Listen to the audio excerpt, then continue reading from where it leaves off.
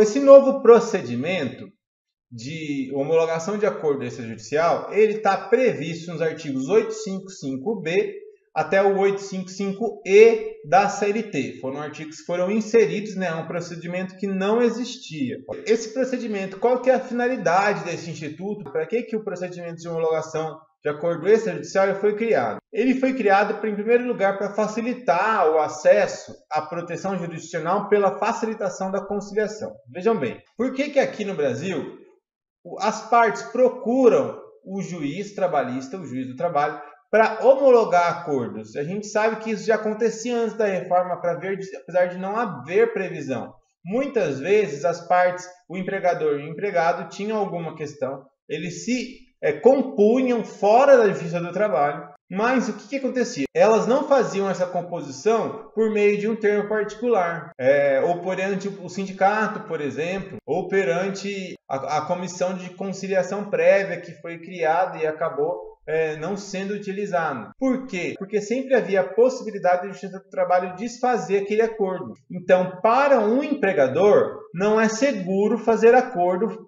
fora do, da Justiça do Trabalho. Então, o que, que acontecia na prática? Se não fosse Justiça do Trabalho, é, o que, que aconteceria? As duas partes iam entrar no acordo, vou, a gente tem aqui uma pendência, eu vou te pagar, sei lá, 15 mil reais e a gente vai acabar com essa pendência, ok? Ok. Todo mundo assina, reconhece firme em cartório, acaba a situação. Ninguém pode entrar na justiça para dizer que foi prejudicado no acordo. Isso se não fosse Justiça do Trabalho. Mas como é a Justiça do Trabalho, o, o, é, ela zela por proteger uma parte hipossuficiente, então não se fazia desse jeito. Como que se fazia? A parte reclamante ajuizava uma ação e aí as partes chegavam no, é, na audiência e informavam que já tinha feito acordo ou até numa petição antes da audiência informavam que tinha chegado a uma composição, ok?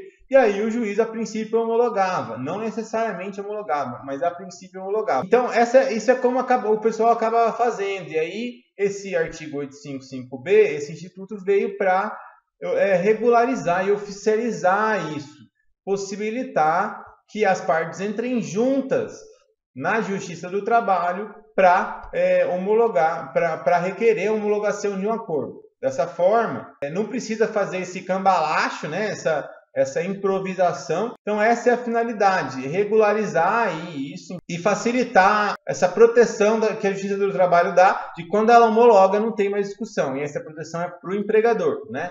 É uma segurança para o empregador, ok? Para isso foi criado o Instituto.